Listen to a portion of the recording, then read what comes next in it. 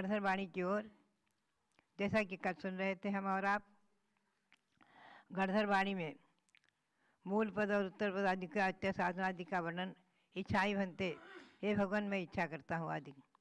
तो सबसे पहले पद आया है नमोकार पदे। और अंत में पद आया है मिच्छा में दुकड़म ध्यान में रखें। तो मिच्छा में दुकड़म का अर्थ क्या है? इस बात को हमें और आपको ध्यान में रखना है। मिच्छा में दुक्कड़म मेरा दुष्कृत संस्कृत भाषा में है मिथ्या में दुष्कृतम। हे भगवान, मेरा दुष्कृत मिथ्या हो। यानी उसका फल हमें न भोगना पड़े और मैं मेरे से जो भी दोष हुआ है, अति दोष छः प्रकार के बताए थे, आपने लिखा होगा, ध्यान दिया होगा, फिर से आप ध्यान दें। अतिक्रम, व्यतिक्रम, अतिचार, अनाचार, आभोग, अनाभोग। छः प्रकार से दोष लगते हैं। इन दोषों के लक्षण मैंने आपको सुनाए हैं। प्रतिकोण ग्रंथ के आधार से, टीका के आधार से। श्री प्रभा चंद्राचार्य के टीका के आधार से। आप ध्यान में रखें, इनके निमित्त से जो दोष होते हैं, उनका फल हमें न भोगना पड़े और वो कर्म निर्जीर्ण हो जाए, झड़ जाए आपकी कृपा प्रसाद से तो ये मिथ्या में दुष्कृतम। मेरा दुष्कृत मिथ्या हो, यानी समाप्त हो जाए, दूर हो जाए आपकी कृपा प्रसाद से। तो ये एक प्रकार से आलोचना गरहा निंदा आदि करके अपने दोषों से छुटकारा पाने के लिए प्रतिकोण है। तो पढ़ी इच्छा भी बनते हे भगवान, मैं इच्छा करता हूँ। नमोकार पद जो है, मैंने पहले बताया था, मूल, ये मूल पद जो है, अनादि निधन शाश्वत महामंत्र। अनादि निधन शाश्वत महामंत्र है, नमोकार मंत्र और चत्तारी मंगल पाठ। तो नमोकार पद में, अरहंत पद में, सिद्ध पद में और आर्य पद आचार्य पद उपाध्याय पद और साधु पद ये पाँच पद हैं नमोकार मंत्र में आते हैं। पुनः से मंगल पद लोगोत्तम पद और शरण पद ध्यान में रखें आप। ये मैं पुनरावृत्ति कर रही हूँ, पुनः आपको सुना रही हूँ मूल में। इसे मैं सुना चुकी हूँ, एक बार आपके लिए पुनः उसी पर प्रकाश डाल रही हूँ कि मंगल पद लोगोत्तम पद और शरण पद ये, इससे ये स्पष्ट हो जाता है कि चत्तारी मंगल पाठ भी किन्हीं के द्वारा बनाया हुआ नहीं है। अब आप ध्यान में रखें सामायिक पद।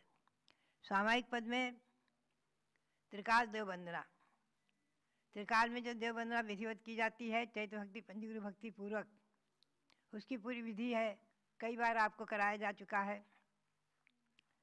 उसमें चैत्र भक्ति, पंचगुरु भक्ति आदि आती हैं। ये क्रियाकलाप में हस्तलिखित गुटका आदि के आधार से क्रियाकलाप छपा था। बहुत पुराना है, लगभग अस्सी नब्बे वर्ष पुराना उसमें है। और सामायिक पुस्तक भी देववंदना नाम से, सामायिक पुस्तक नाम से भी मैंने कई बार प्रकाशित कराई है। इसमें भी इसकी पूरी विधि है। और कई एक बार मैंने सभा में सामायिक विधि आदि सिखाई भी है, पढ़ाई भी है। आप ध्यान में रखें, इस पुस्तक को मंगा करके इसी के अनुसार जो सामायिक होती है देववंदना पूरक यानी पहले उसमें परिक्रमाएँ बनते पढ़कर हीरा पर शुद्धि करते हैं, आलोचना करते हैं, पुनः से सामायिक की प्रतिज्ञा करके, सिद्धम संपूर्ण भव्यार्थ समाधि पढ़ करके कमामी सब जीवानाम आदि पढ़ करके और फिर चैत्र भक्ति और पंचगुरु भक्ति में कृतिकर्म विधि करते हैं। जिसमें बारह आवर्त, चार श्रीनति और दो प्रणाम, पूर्वक कृतिकर्म विधि होती है। ऐसा है सामायिक पद। त्रिकाल सामायिक करना और समता भाव धारण करना।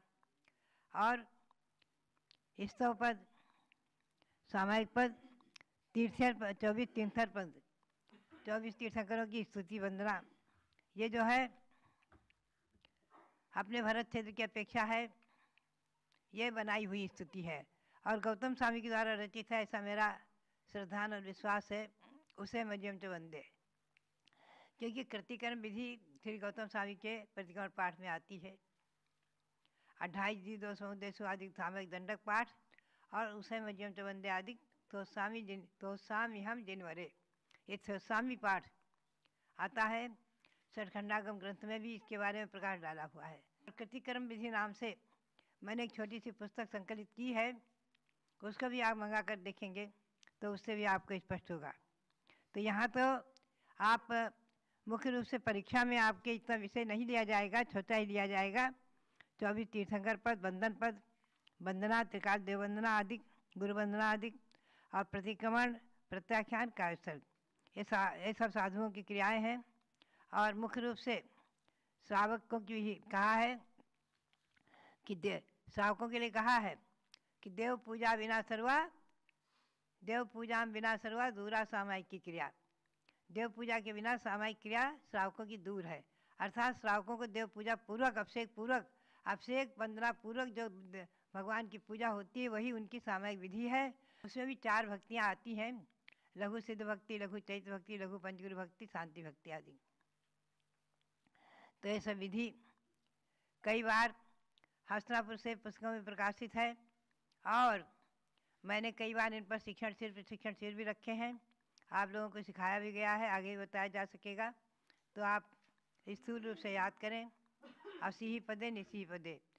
मंदिर में प्रवेश करते ही निस्सही निस्सही बोलना निकलते हुए असही बोलना अधिक ये क्रियाएँ साधु के लिए तो अपनी अपनी वसतका से निकलते हुए बाहर जाते, आते असही निसही का प्रयोग करना होता है आदि। तो ये जो है, मैंने पुनरावृत्ति करके आपको पुनः सुनाया है। ये पाठ आप याद करें। संक्षेप में समझे, गौतम स्वामी के मुख से निकली वाणी का अध्ययन करते हुए। असंख्यात गुण श्रेणी रूप से कर्मों की निजरा और महान पुण्य का संचय करते हुए, अपने ज्ञानावरण के क्षय को वृद्धिंगत करते हुए, ज्ञान की वृद्धि करते रहें। यही प्रेरणा, मंगल, आशीर्वाद।